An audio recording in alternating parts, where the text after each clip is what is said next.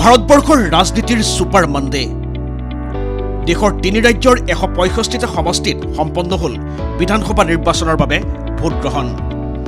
সোমবাৰে বিধানসভা নিৰ্বাচনৰ বাবে দ্বিতীয় পৰ্যায়ৰ ভোটগ্ৰহণ সম্পন্ন হয় উত্তৰ প্ৰদেশৰ পঁচপন্নটাকৈ সমষ্টিত। পুৱাৰ ভাগত ৰামপুৰ বিধানসভা সমষ্টিত ভোটাধিকাৰ সাব্যস্ত কৰে কেন্দ্ৰীয় মন্ত্ৰী মুখতাৰ আব্বাছ নাকভিয়ে। পুৱা সাত বজাৰ পৰা আৰম্ভ হয় ভোটগ্ৰহণ। দ্বিতীয় পৰ্যায়ৰ এই পঁচপন্নটা সমষ্টিত প্ৰতিদ্বন্দ্বিতা আগবঢ়োৱা প্ৰাৰ্থীৰ সংখ্যা পাঁচশ ছয়াশী सभी लोगों को इस लोकतंत्र के इस महापर्व में बढ़ चढ़ करके पूरे जुनून और जज्बे के साथ हिस्सेदारी करनी चाहिए ৰাজ্যখনত দ্বিতীয় পৰ্যায়ৰ ভোটগ্ৰহণৰ দিনটোতে কানপুৰত নিৰ্বাচনী প্ৰচাৰ চলাই প্ৰধানমন্ত্ৰী নৰেন্দ্ৰ মোদীয়ে হিজাব বিতৰ্কই দেশ তোলপাৰ লগোৱা সময়তে মুছলমান ভোটাৰক লক্ষ্য কৰি মোদীৰ ভাষণ हमारी मुस्लिम महिलाएं हमारी मुस्लिम बहनें बेटियां जानती है कि जो सुख दुख में काम आता है वो ही अपना होता है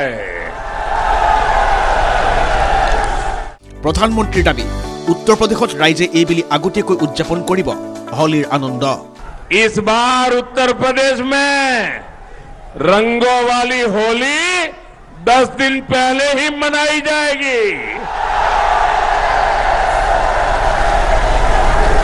ইফালে সোমবাৰৰ দিনটোতে বিজেপি শাসিত আন দুই ৰাজ্য গোৱা আৰু উত্তৰাখণ্ডত একেটা পৰ্যায়তে সম্পন্ন হয় বিধানসভা নিৰ্বাচনৰ ভোটগ্ৰহণ পৰ্ব।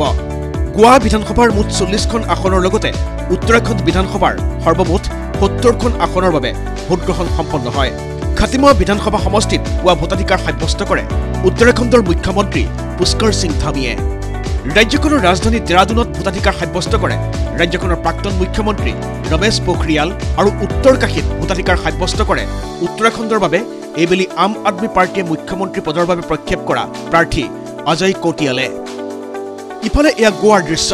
উত্তৰ গোৱাৰ কোঠাম্বিত ভোটাধিকাৰ সাব্যস্ত কৰিবলৈ পুৱাতে ভোটকেন্দ্ৰত উপস্থিত হয় মুখ্যমন্ত্ৰী প্ৰমোদ সাৱন্ত। आत्मनिर्भर भारत स्वयंपूर्ण गोवा बनाने के लिए भारतीय जनता पार्टी को फिर से एक बार हमें सेवा करने का मौका मिला national desk N T twenty four